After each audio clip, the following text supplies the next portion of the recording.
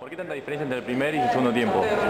Bastante diferencia que a- Entre los goles, y claro. Sí, en el segundo tiempo se, se hizo un partido muy de ida y vuelta, que eso causó que se hagan muchos goles.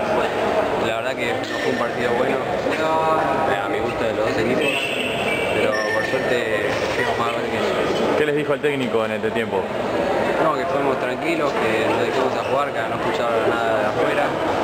Y a no, a no hablar con el árbitro, que nos dedicamos a jugar.